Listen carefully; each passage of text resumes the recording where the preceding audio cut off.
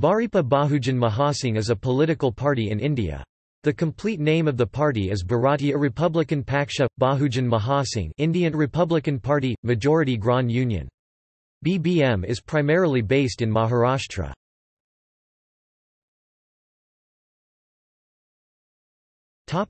History The party was formed in 1999, through a split in the Republican Party of India. The party is led by Prakash Yashwant Ambedkar, the grandson of B. R. Ambedkar. In the elections to the Maharashtra State Assembly 1999 BBM put up 34 candidates.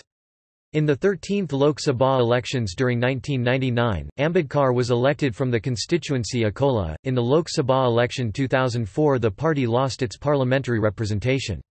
In total the party had launched 16 candidates, all from Maharashtra.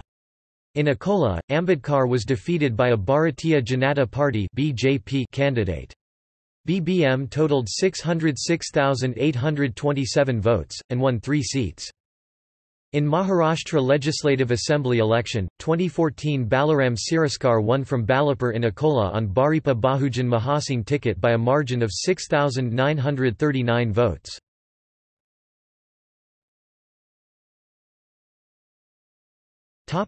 Leadership. Prakash Yashwant Ambedkar